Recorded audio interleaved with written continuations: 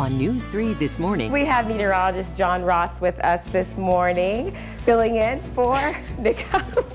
He's gotten taller. So I'm not taller than Nick, so I don't know what this is about.